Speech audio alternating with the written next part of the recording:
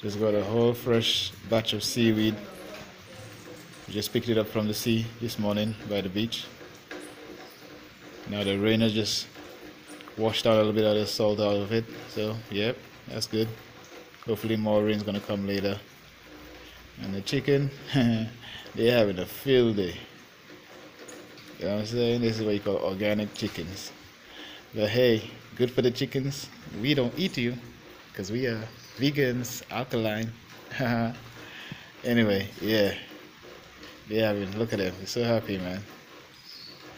They're just free. Doing their thing. And at the same time, they added more, more nutrients to the fertilizer. Yeah, man, this fertilizer, this is a seaweed. It's got like over 60 different trace elements in it. You know? Yeah. And it has this growth hormone in there, so it helps the roots of plants. It helps them develop even more. You know? Yeah, man. Mm-hmm. So when that gets dry and mulches into the sun, soil, so it, so it helps with the organic farming. Yeah, everything is organic. See?